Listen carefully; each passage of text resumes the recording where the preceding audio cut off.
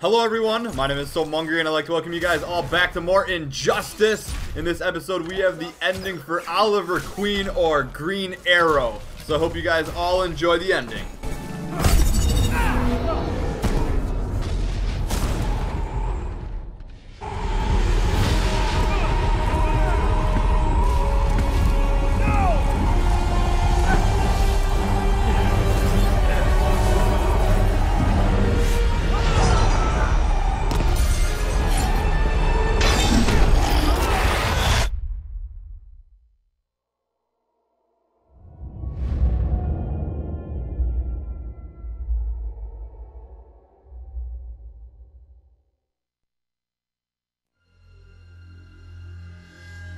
After the fall of Superman, Green Arrow visited the Star City of this parallel Earth.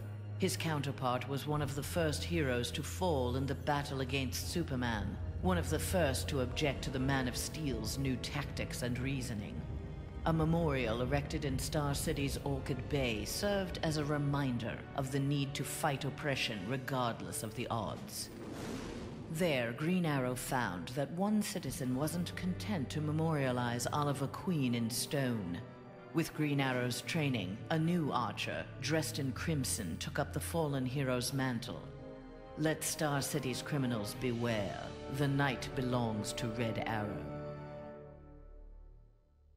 Alright, that was a rather interesting ending. We got an appearance from Red Arrow. I wonder if he will be in the game at all in a future DLC. Maybe. You never know, I guess. Either way, thumbs up for Green Arrow's ending. Let me know in the comments below who you guys all want to see next, and subscribe for more Injustice. Have a great day, everyone.